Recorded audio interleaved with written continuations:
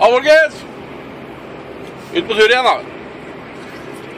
Jeg og en til har med meg en på utplassering.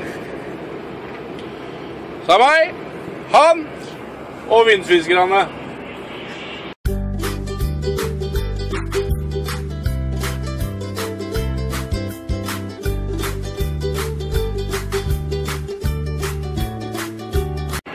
Seriøst, nå begynner det å bli nok regn, så nå øh, Nå kommer det selvfølgelig mer.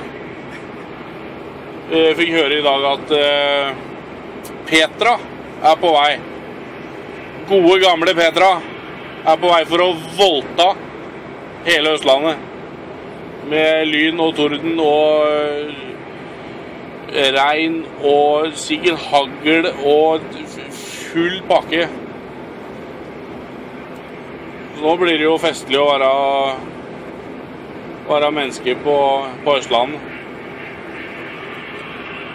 Ellers så har jeg med meg en, eh, en på utplassering. Han går yrkesfagskolen.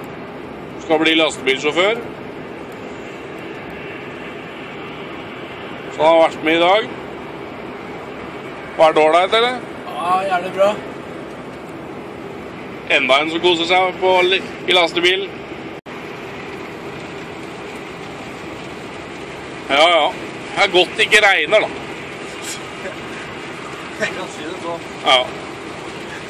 Det er godt det er sol og oppholdsvær og Det ser jo snart ikke ut frontruta! Eh, Det er sommeren for deg, det, tenker jeg. September i Norge. Det er rett før snøen kommer. Det er jo fint, da, for da blir det jo brøytejobb på meg. Herregud, det regner. Tror Peter har kommet et døgn for tidlig. jeg. Petra har kommet og satt ned foten. For dere som ikke veit hva jeg snakker om når jeg sier Petra, så er det, det er en storm som er på vei oppover eh, fra Kristiansand-området og oppover eh, Østlandet. Og hun har med seg bøtter og spann med regn.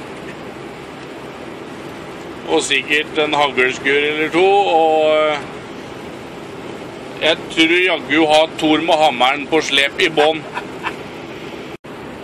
Men snø eller sol eller vær og vind og drittvær smiler for det, vet du. Alltid blid. Obelix på tur. Ja da. Glad i regnvær, jeg!